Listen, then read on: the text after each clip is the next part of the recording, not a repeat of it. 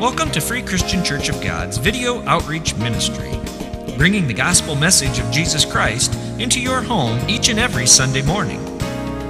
If you would like more information about the video ministry or other ministries that we have to offer, stay tuned immediately following this program. And now, open your Bibles and follow along as we bring you today's message. Lift your Bible in the air. Say it with me. This is my Bible. It's God's infallible word.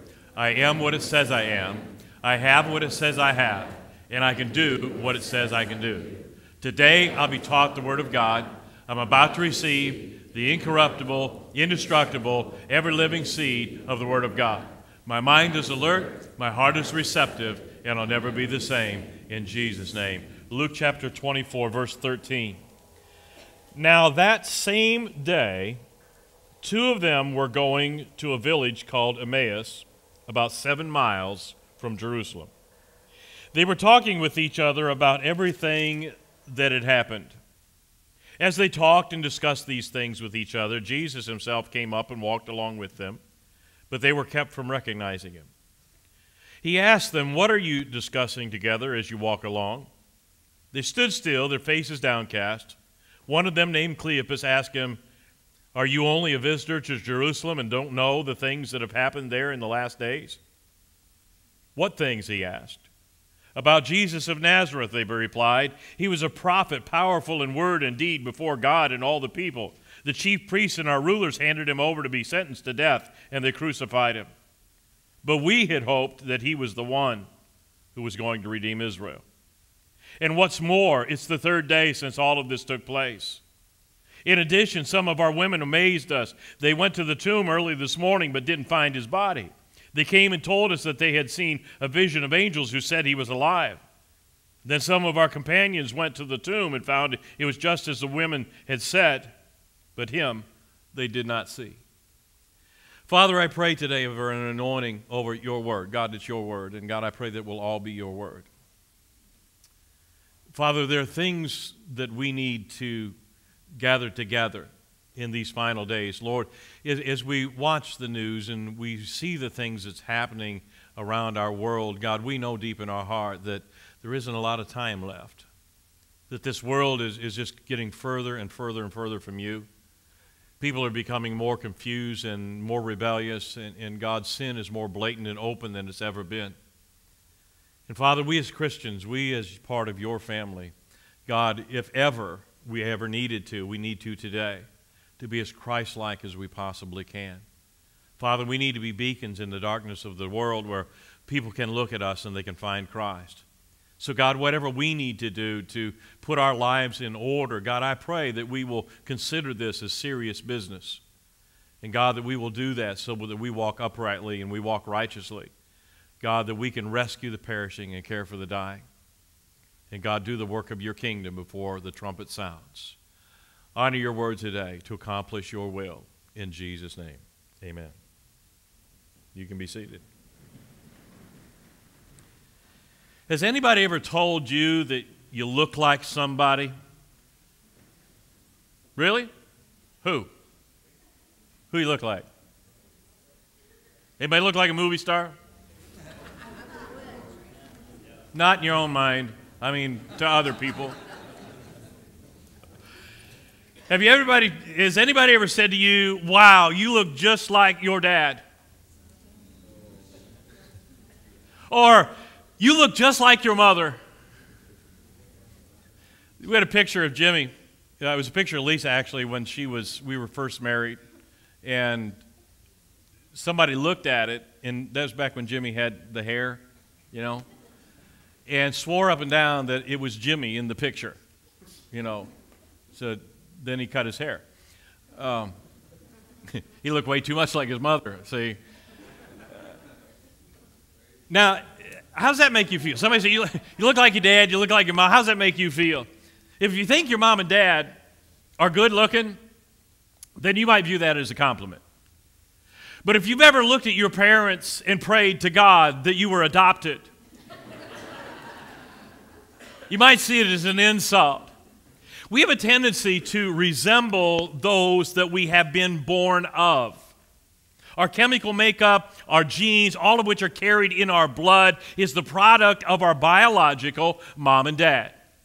That's why we might not only look like our parents, but we might also sound like them and speak like them and walk like they walk. If your parents were athletic, you might have inherited their athletic ability. If they were musical, you might have in, uh, inherited their musical talent. On the other hand, if they are obese and bald and have a lazy eye and elephant ears and a nose like a hawk, you might be a little depressed right now. Have you ever looked in the mirror and saw the face of your parents looking back at you? I'm getting older now. Things are turning gray. I get out of a chair and I walk like my dad. With the back, you knew my dad. I get out of the chair and I'm walking like my dad. I will look in the mirror some mornings and I will see my dad's face looking back at me. That is a creepy thing. I love my dad, but but that, you know, that's how I always thought my dad was old. I mean, ever since I was born, my dad was old. And now I'm looking in the mirror and I'm seeing that look back at me. The word Christian means Christ like. Most all of us, when we speak of our faith in God, refer to ourselves as a Christian. We've been born of God by the blood of Jesus Christ, and now we are in God's family. We're joint heirs with Jesus Christ uh, to all that our Father has. But I want to ask you has anyone ever mistaken you for Jesus? You can't call yourself a child of God and not live every day for God. You can't live for yourself but still tell everybody that you've surrendered your life to Him. You can't deny uh, His direct commands and claim to be in His will. And you can't live in rebellion and claim His blessing. If you're going to be God's child, then you're going to have to look and act like you are God's child. You can't be lazy in service. God won't let you lay around his house while everybody else is working on his kingdom. He won't let you deny him and sin in his face and talk back to him and resist his rules. He's not going to let you live like the world and act like the world and look like the world and still live under his roof. But if you're going to be a child of God, there must be a family resemblance. You must resemble Jesus so that the people around you will know that you belong to him. There must be a family resemblance and a family commitment to the family mission so you can live in unity with the Holy Spirit and your Heavenly Father can bless you in the things that you do. Lisa's oldest brother, Russ, has had long hair and a beard for the last 40 years. He lives in Florida, so we didn't we don't get to see him real often. So growing up, other than the occasional visit, our kids only knew their Uncle Russ by looking at family photos. When Jimmy was little, he was looking at some of our vacation pictures where we had been at Russ's house, and he was only about five years old. And like you do with, with young kids in pictures, sometimes you, you go through the picture, say, now who's that? And who's that? And we went through the picture and we say, now who's that, Jimmy? Well, that, that's mommy. Know, who's that? That's, that's daddy. Who's that? That's Mandy. And then we asked, we pointed to Uncle Russ. and he paused. We said, Who's that? He paused, and then he got this big beaming smile on his face, and he said, That's Jesus. Not too many of you get a family picture with Jesus, do you? we probably should tell you differently. That was your Uncle Russ. That was, we were just waiting for the right moment. When you truly become a Christian, the evidence of your change is made visible in your nature. You crucify the old nature, the man or the woman that you used to be, with all of his sins and all of his flaws and all of his bad habits. You put him to death. You hang him on the cross of Christ. And when, then, once the old nature has been crucified, you take that dead man off of you and you put him in the grave. You put him in the grave, and then you put on the new nature of Jesus Christ. How many of you know we've not arrived yet? We've not arrived yet. How many of you know that God has more for you than you have right now? How many of you know that you have to give to God more than what you've already given? How many of you know that there's still a closer walk and a deeper commitment and a holier life than where you are right now? We've not yet arrived. It doesn't matter how many years you've been saved, how many years you've been in church. There is none of us yet that anybody uh, confuses with Jesus. And that means we have a long way to go. There are some people today who go by the title Christian who live their lives nowhere near where Christians ought to live. And yet, still, they call themselves a Christian. They say that Jesus is their Savior, that heaven is their eternal home. They lay claim, claim to the benefits of the Bible, but what they profess is in direct contrast to the way to what they resemble. I've explained to you on more than a few occasions the process of the tabernacle. I really hope that all of my teaching sinks into you someday. I don't believe there's a church on the planet that's been more versed in the tabernacle than this one. In Old Testament times, the tabernacle was where the presence of God dwelt among his people.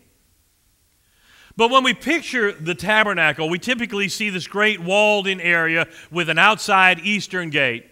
But what we may not understand is the tabernacle was the small structure, just 45 feet long and 15 feet wide, that sat inside of those outer walls. And the abode of God was in a little 15 by 15 room inside of that structure. Now, there were tens of thousands of people who passed by the outside, and they could see the Shekinah glory of God resting above the holiest place. There were multitudes of people who entered in through the eastern gate and into the outer court, into the gathering area. There were many who, while they were there, sacrificed at the brazen altar. There were many who cleansed at the laver. There was a select group who even made it inside uh, into the holy place. But only one man was permitted to enter into the holiest place, into the presence of God. And that was just one time per year. Only one man made it into this holy place, that 15 by 15 room where the presence of God was. There was a veil that separated the holiest place from the rest of the tabernacle. But the Bible explains to us that when Jesus Christ died on the cross, that the veil that separated the holiest place from the outside was torn from the top to the bottom, as though it was torn by the hand of God. Opening a path into the mercy seat, into that holiest place for everyone, so that whosoever will could come into the presence of God. That's a great work. How far is far enough? How far do we really have to go? How close to God do we really need to get? How near to Him do, we need to come? How much more like Him do we really have to be? I told the church Wednesday night about my concern for the people of this congregation. I, I want you to know the truth. I want you to hear my heart here. I want you to be sure of your salvation. I don't want any member of this church to stand before the judgment of God thinking that they're saved when all of the time all they have ever been was religious. I don't want you to be conned into believing that attending church or acting out a ritual or making a trip down to the altar once is sufficient. I'm trying to rescue you from an eternal hell. You may not always like what you hear, and you, it may not be what you always want to hear, but I guarantee you that it will always be the truth of God's Word. And it will not be a message that the Lord has not has given me, hasn't given me. Because I care about your soul. Sometimes more than you do. But I care about your soul. I want to make sure you know the truth and you know how to live, that you know what the Bible tells you. Some of you here today are religious. You're faithful to the program. You come to church, you sing the songs, you volunteer for the jobs, you live a decent lifestyle. You've done a real good job on the outside but there's never been a change in your nature. Salvation is a life shattering experience. If you met the President of the United States, you would remember the time and the place that it happened. Some of you more than others. If you met some famous movie star, you would remember where you were and what you were wearing at the time. If you met some famous sports star, you would recall how you felt at that moment in time. So it would only stand to reason that if you met the great Jehovah God, the Savior of your soul, it would be a life shattering experience. In our text, there were two men walking the road to Emmaus. One man's name was Cleopas. We really don't know him. He wasn't famous, he didn't hold a high office. We're not exactly sure who he was. There was a Cleopas mentioned in John 19 who was the husband of one of the Marys, but there was another Cleopas mentioned in ancient literature who's also called Alphaeus, but we really don't know for sure who Cleopas was. He just had a name. The other man that Cleopas was with was less identifiable than he was. The Bible doesn't even mention him by name. So it's just Cleopas and the other guy. Can't wait to get to heaven someday and meet the other guy.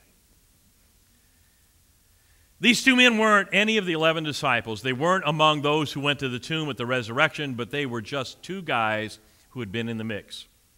They had hung out with those who followed Christ. I wonder this morning, how much in the mix are you? Do people at church recognize who you are? Do they know you by name, know what you do for a living, know where you live? Or are you in and out so fast and so uninvolved that people just refer to you as that guy or that woman? These two men thought that they were disciples. They thought that they were committed, they thought that they were true believers, but the truth is they were never who they believed themselves to be. You see, you can hang out at the gym, but it doesn't make you an athlete. Any more than standing in the car makes you a garage or being in the barn makes you a cow.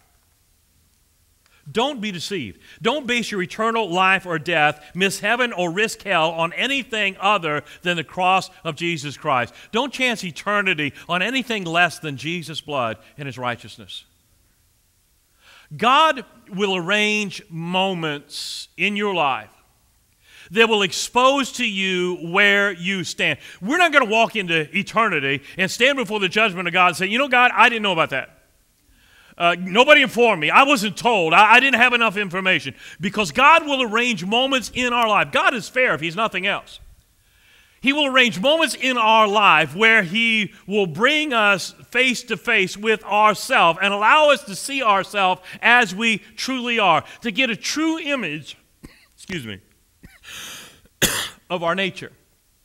Have you ever passed a store in the mall that had a big mirror on the outside. I don't tell you the truth, I don't like stores have anything on the outside. Every time I go past that, this, I don't know if this happened to you or not. Every time I go past that, that GNC store or whatever that's got the scales, it talks to me. Have you checked your weight today? It don't matter if I'm coming or going. That dumb machine always asks me if I checked my weight today. I'm starting to get to place I'm old enough. I'm starting to answer it back now. No, I haven't, and I don't care. Oh. But you walk past one of these stores at the mall and they have these big mirrors on the outside. They kind of catch you off guard. You're walking along, minding your own business, feeling pretty good, and then you pass by this image and you catch sight of it with your peripheral vision. And you stop. How many of you have done that? You know what I'm talking about. How many of you have backed up to take a better look? It'll ruin your day sometimes. That outfit you put on at home that you thought looked so good has suddenly been exposed to the bright lights of the mall, and you get to see yourself like everybody else has been looking at you all day. Woof. God will arrange some mirrors for you and me to pass by that will reveal to us what He has been seeing all along. When He does, you have two choices. You can either continue along your merry way and do nothing about it, or you can take a good look in the mirror and deal with what you see. Now, we're a little bit stubborn. We're a little bit stubborn. You know, we don't like to change things about ourselves. We've got this opinion of ourselves, we got this image of ourselves. I look pretty good. I look pretty good. But then we stand before the mirror if we're honest with what we see. You see, we need a mirror to fix our problems, right? If we got up in the morning and we got ready and we didn't use a mirror, we wouldn't know that there is something that's not right here. And so God will show us ourselves, and we can either deal with what we see or we can continue on and do nothing about it.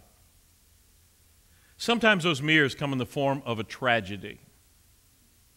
The true test of our faith isn't when things are going well, but the real test comes when it appears that all might be lost, that God is doing nothing, that Bible has been a lie, and that Christianity is just another worthless religion. When facing a crisis of our faith, when it appears that the system has failed us, the prayers haven't been answered, the promises haven't been fulfilled, and all hope is lost, some people choose to just walk away. Their true nature is revealed, but they refuse to deal with what God has shown them. These two men had been in the mix. They were likely in the audience when Jesus had fed the 5,000. They were probably there when he had healed the sick and raised Lazarus from the grave. They had seen Jesus' power, they had heard his words and his teachings, but now something had gone drastically wrong. Jesus had been betrayed. He was condemned. He was beaten and crucified and buried. It was a done deal as far as anybody was concerned. It was all over. So these two men walked away. They quit. It was fun while it lasted the miracles, the healing, the large crowds, the times of rejoicing and celebrating. But now it was finished. Jesus was dead. He was gone. His body was buried. So that was it. And they walked away. Work hard for what you get, and get what you work hard for. Don't settle. Don't compromise. Don't quit when the going gets tough, but get a stick to itiveness in you that wheels you forward when the easiest thing in the world for you to do is just quit and walk away. We live in a nation filled with quitters. We don't like our job, we quit, get another one. Don't like our husband or our wife, we quit on our marriage and look for another mate. We don't like something in our church, we slip away in the middle of the night to find another one. We've forgotten the old adage when the going gets tough, the tough get going. When things get difficult, we have been conditioned by our world to simply quit and walk away. There will always be challenges of your faith. There will be times when it's not so easy. There'll be times when it's not fun. There will be times when it's not rewarding. But if you walk by faith, you're not listening. But if you walk by faith and not by sight, you will soon understand that God is working on you to perfect in you the nature of Jesus Christ. Jesus had promised that on the third day he would rise again from the grave. His promise to rise again was so well known that the enemies posted guard on his graves. So we know that those who followed him were aware of it. But if that was the case, if Jesus promised to rise again on the third day, and it was the third day now, then where were these two men going? Evidently, what Jesus said didn't matter. Do you remember what I said last Sunday? In the beginning was the Word, the Word was with God, and the Word was God. Is the Bible just another book to you, or is it the Holy Word of God? Is it a mere suggestion as to how you should live your life, or is it God's law for how to live? Do you follow with what you agree with and what's easy for you, or do you strive daily to live by the letter of what God has said, no matter how difficult at times it might be? Jesus said, On the third day, I will rise again. But on the third day, these two men walked away. Verse 13 says, On the same day. On the same day that Jesus said he would arise, on the same day that he said he would get up out of the grave, on the same day that they would go to the tomb and find it empty, on the same day these two men left.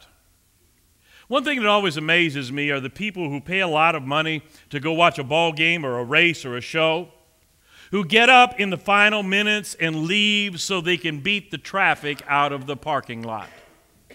That has never made sense to me. We're often very swift to quit on God. Most of us give Him an hour or two on Sunday morning to do His thing. We're never deep in prayer. We're never immersed in His Word. We never seek communion with Him. But let Him not respond to us in a timely manner, and we'll get up and walk away. Our standard of dealing with God is often more rigid than it is with anyone or anything else. We've tolerated our lazy, drunken husband for years. We've endured our nagging millstone of a wife for years. We put up with our disrespectful, uh, prodigal children for years, paid them off and bailed them out. We put up with our obnoxious friends and our idiot relatives and our strange neighbors, our in laws and our outlaws, but let God seem to slip up just one time and we're out of here. On the same day Jesus promised to rise, they left. They walked out on all that they had claimed to have. They had been in the mix, they had been involved, they had been counted among the faithful. They ate when Jesus had fed the 5,000. They cheered when Jesus raised Lazarus from the dead. They put their coats in his path when he rode triumphantly into Jerusalem. But when he was crucified, when the going got rough, when the party was over, when the enemy attacked and the kingdom of God needed them the most, when it was their turn to give and their turn to work and their turn to stand, they bailed out and walked away. They liked the benefits that Jesus gave, but they weren't about to die for them. They liked the freedom that he offered, but it wasn't worth their life. So let somebody else sacrifice. Let somebody else give. Uh, let somebody else take a stand. And then, if by chance it all works out, we'll just come waltzing back in and brag to everybody look at what we've done. If you're not willing to take a bullet, then don't show up later to take a bow. In difficult times, some people leave God. They leave the church and they walk away from their Christianity. Walking away is the unmistakable evidence of your true nature. When you quit something and abandon the work, you're exposing your true heart. The trouble is, you don't want the blame. You don't want the blame. You don't want to admit that the real problem is just you your cantankerous spirit, your bad attitude, your self centered agenda. So you start to complain and criticize. Somebody's hurt your feelings, somebody's made you angry, somebody's let you down, and you're walking away. You're just not going to handle it no more. You're going to find somewhere that you can be appreciated and somewhere that you can be more comfortable. You have an excuse, and you're quick to share it with anybody who will listen because you want them to know that the problem isn't you, it's somebody else's fault. When facing a difficult time, the move that you make sheds great light on the truth of your situation. These two men left Jerusalem and they set out for Emmaus. They walked away from spiritual things and they turned toward worldly things. They turned their back on the Spirit of God and began to listen to the old man of the flesh. Emmaus was a little over seven miles away from Jerusalem. It was known for its hot baths it was Emmaus was like a spa town. It's a good place to relax and create your troubles. And so they were going to go to Emmaus and they were going to sit in a hot tub and they were going to soak the Jesus part of their life away. When we turn from spiritual things, we always turn in the direction of worldly things. When we turn our back on God, we always turn our, our, our, face towards sin. We no longer sow in the Spirit into the eternal works, but we begin to sow into our flesh, our old nature. We begin to hoard our money and our time. We buy for ourselves and we forget about other people. We take care of number one. We become greedy and self centered. Nothing like Jesus Christ. These two men went in another direction. You've heard people say, I'm just going in a different direction. Going to try something new the disciples were still in Jerusalem. The believing women who had came back from the grave and said that it was empty and the angels had told them he had risen were still in Jerusalem. The heart of the church was still in Jerusalem. The war was still being fought in Jerusalem. The ministry and the mission and the work was still in Jerusalem. The family of God was still in Jerusalem. But these two men walked away from absolutely everything. 1 John 2 says, This is how we know it's the last hour. They went out from us, but they didn't really belong to us. Because if they had belonged to us, they would have remained with us. But their going revealed that none of them belonged to us. The Word of God promises that in the end times, the persecution of the enemy on God's church will be so great that some will walk away. Verse 15 says Jesus walked with them. You may walk away from God, but He'll never walk away from you. He won't chase you down and beg you to come back, but the Spirit of God will come near you from time to time and give you the opportunity to change your direction. Verse 16 says that they were kept from recognizing. Mark 16 says Jesus appeared to them, but in a different form. Needless to say, they didn't know who he was. God might not always reveal himself to you, he might appear in your rebellion in a different form. He might show up as a caring friend or an interested stranger. He may not come out and say to you, This is me, but He will be there and He will be walking with you. They didn't recognize Jesus. You see, you can easily believe in something that you can see, but it takes faith to believe in something that you cannot see. There's only one way to God, and that is the way of faith. Jesus began to question them. It's been suggested that Jesus questioned them so that he'd know where they stood, but that's not true because God knows the thoughts and intents of our heart. Jesus questioned them so they would admit to themselves out loud what they truly believe. Sometimes when we hear our own words, it's very enlightening. Jesus exposed their true nature to them by the way that they answered his questions. He then asked them, Who was this Jesus? They said, Well, he was a prophet, powerful in word and deed. They were being complimentary, or so they thought, but their words betrayed their own testimony. They said, He was. Did you catch it?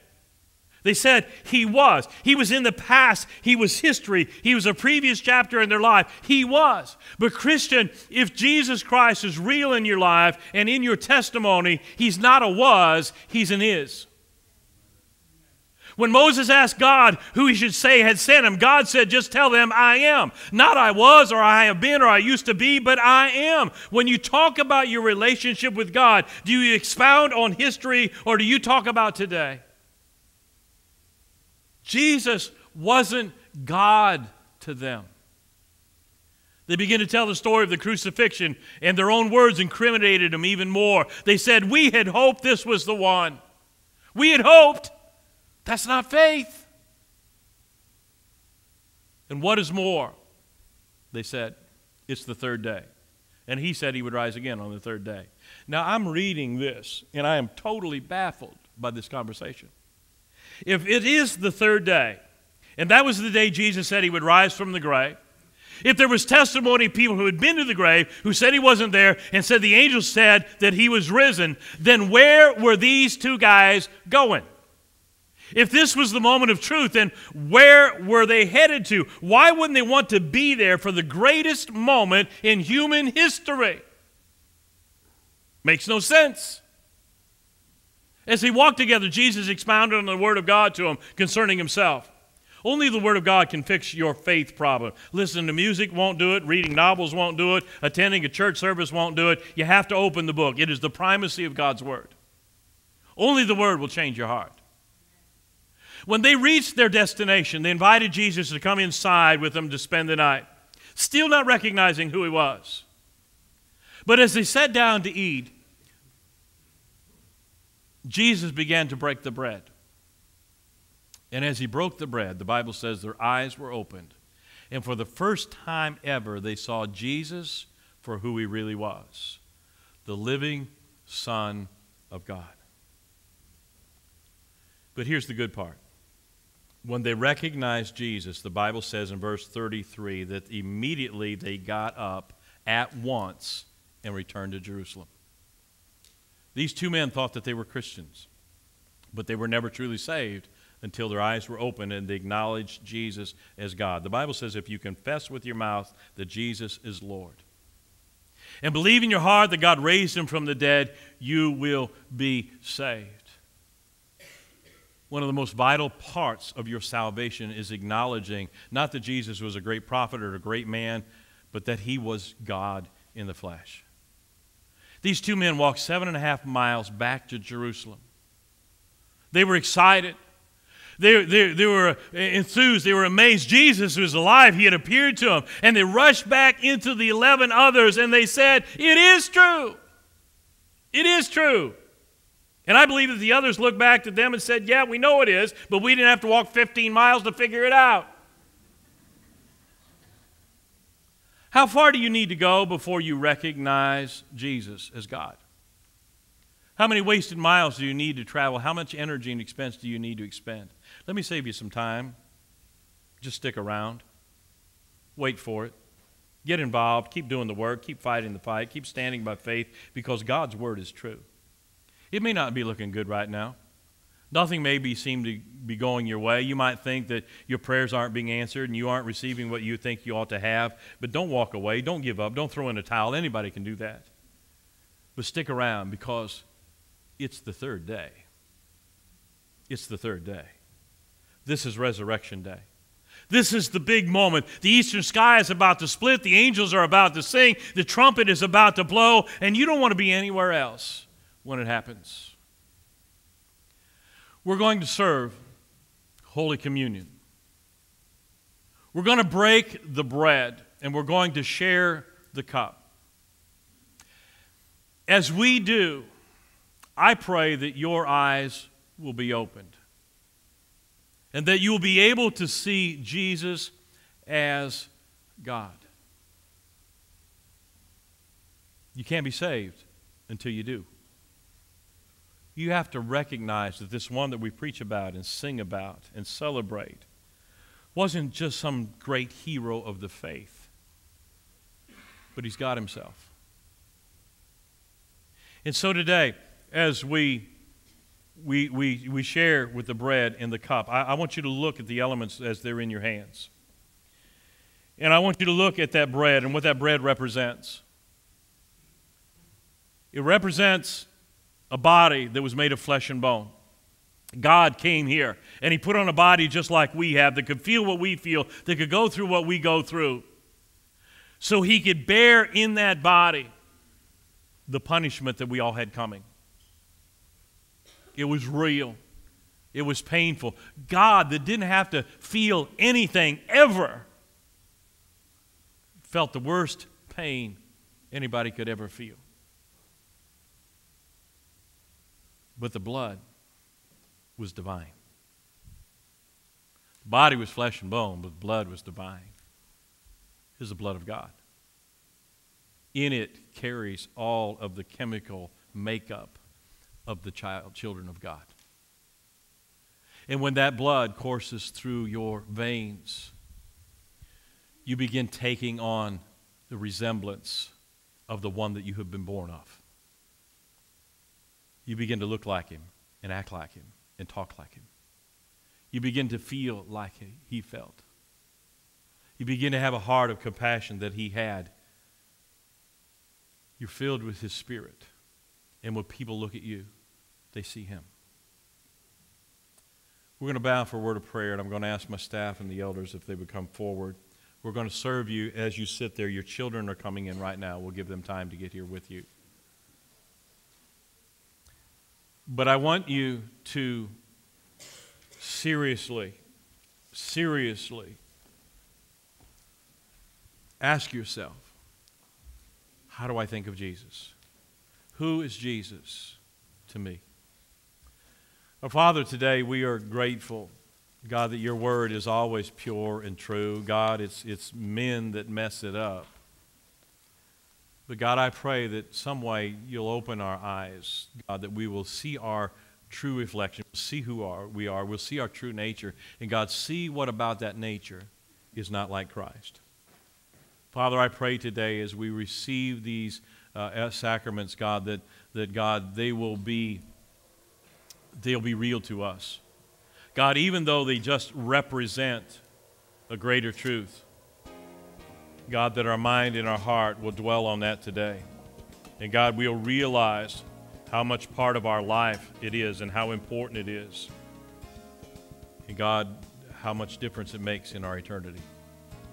Father, bless the elements today, those that receive them, to honor you. In Jesus' name.